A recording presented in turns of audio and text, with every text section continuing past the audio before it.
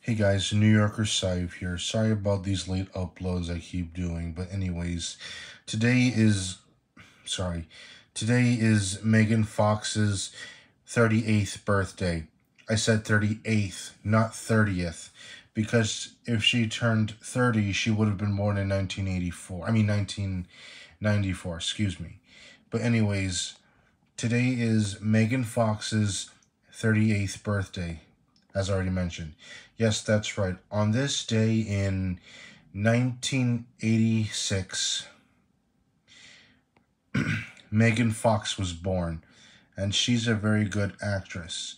So, Megan, if you're watching this, a very happy, excuse me, a very happy, I'm sorry, I'm a little stuck. Okay, one more time. A very happy 38th birthday to you, ma'am. Two more years until you turn the big 4-0, 40. Yeah. Okay, guys, so that's all I have to say for now. This is New Yorker Saif signing off. Don't forget to like, subscribe, comment.